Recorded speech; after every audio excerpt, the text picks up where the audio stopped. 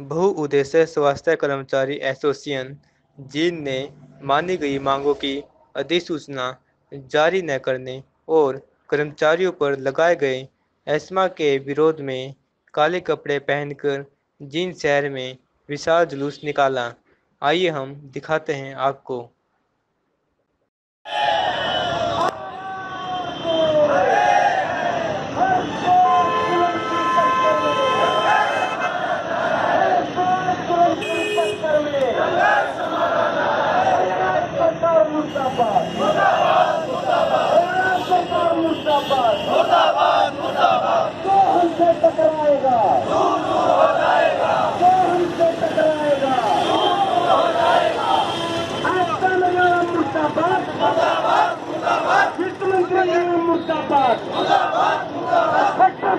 Muzaffar! Muzaffar! Muzaffar! Avanzo!